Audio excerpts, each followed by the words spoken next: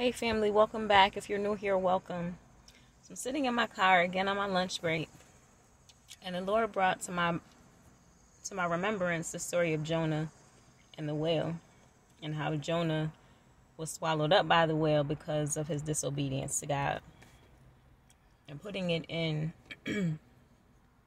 today's terms, we wonder why. Like I'm sitting here and I'm wondering, like what what what is your will? What is your will, Natasha? What is your will?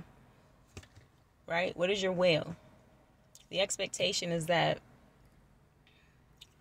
we ask God to do something or we tell him that we love him so much that we'll do what he says to do and then we don't do what he says to do. And then our expectation is that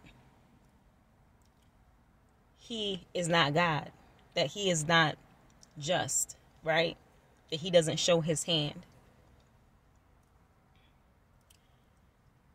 Jesus was not on the scene per se, right? When Jonah was swallowed up by the whale. But, family, the question is what is your will? Where did God tell you to go and you disobeyed? And now you've been swallowed up by this whale, whether it's a job that you hate, whether it's a relationship that you you don't want to be in anymore, whatever the situation is. What is your will? If you think back far enough, God told you what to do or what not to do in that situation, and you did what you thought was best. Again, we have to trust in the Lord with all our heart and lean not on our own understanding.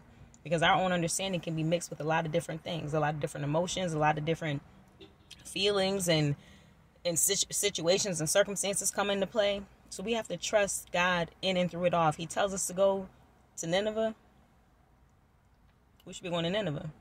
And if we don't go to Nineveh, we should be expecting to be in the belly of a whale for three days and three nights. Family, I love you and I pray that this word encouraged you. Have a blessed day.